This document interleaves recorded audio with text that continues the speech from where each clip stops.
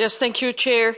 Uh, I've heard some people uh, refer to this app as a so-called deconfinement app, uh, as if the app is going to reopen the borders.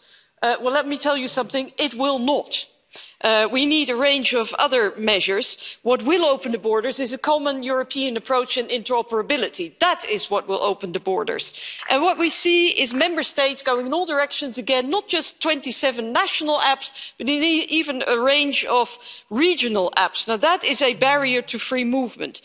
Uh, national governments are presenting the app as a silver bullet against the pandemic but not only is it not a silver bullet it's also not going to solve the problem uh, of politicians that they have to reconcile health concerns and economic concerns and they're just hoping for this app to be the answer to that dilemma but it's not. but we do need full transparency on the decision making not just on the technical aspects but also on why governments choose a particular model why they choose particular providers where are the political and the commercial interests?